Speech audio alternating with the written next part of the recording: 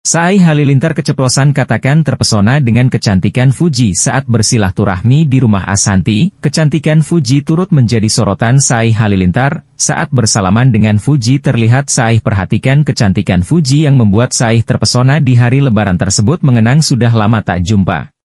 Selain itu setelah putus dari Tarik Halilintar, Fuji sering dijodohkan dengan sejumlah lelaki. Setelah pemain bola Indonesia, Asnawi Mangku Alam, kali ini Fuji dirumorkan tengah dekat dengan Raffi Febriansyah. Seperti dilansir dari Tribun Jateng, kedekatan mereka semakin santer dibicarakan setelah keduanya kedapatan buka puasa bareng. Belakangan ini Fuji ramai jadi sorotan setelah kepergok liburan bareng anak bos Pertamina. Fuji dan anak bos Pertamina, Raffi Febriansyah terlihat menikmati momen liburan bersama. Di video yang beredar, tampak Fuji duduk di samping Raffi Febriansyah di dalam pesawat. Aksi Fuji tersebut langsung heboh diperbincangkan oleh netizen usai terciduk liburan bareng dengan Raffi Febriansyah. Seperti yang kita ketahui belakangan ini Fuji ramai jadi sorotan setelah kepergok liburan bareng anak bos Pertamina. Fuji dan anak bos Pertamina, Raffi Febriansyah terlihat menikmati momen liburan bersama. Di video yang beredar, tampak Fuji duduk di samping Raffi Febriansyah di dalam pesawat. Aksi Fuji tersebut langsung heboh diperbincangkan oleh netizen usai terciduk liburan bareng dengan Raffi Febriansyah. Sebab Fuji mengaku lebih memilih pasangan yang tidak posesif daripada cari pacar yang kaya raya. Ia pun mengatakan tak mau ribet jika sudah berpacaran. Aku enggak pernah lihat background orang kak, asalkan jangan nyusahin aku aja, ujar Fuji dikutip pada laman akun TikTok IC Terus 1, Selasa, 9 April 2024.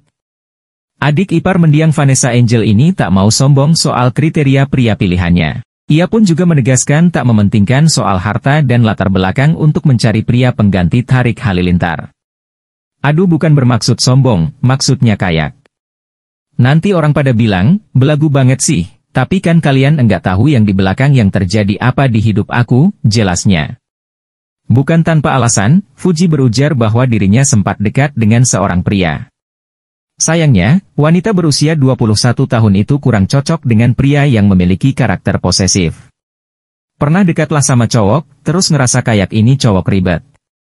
Beda, ini ribet. Kalau posesif tuh aku mungkin lebih kerisih. Tapi it's fine karena aku kadang juga bucin asal jangan posesif-posesif banget. Ini tuh ribet yang ribetin, ujarnya. Menurut Fuji, lebih baik dirinya menjomblo lama daripada harus menjalani hubungan dengan pria yang dianggapnya toksik. Makanya kalau aku ngerasa aku enggak seregnih ya, no thanks, bye, tutupnya.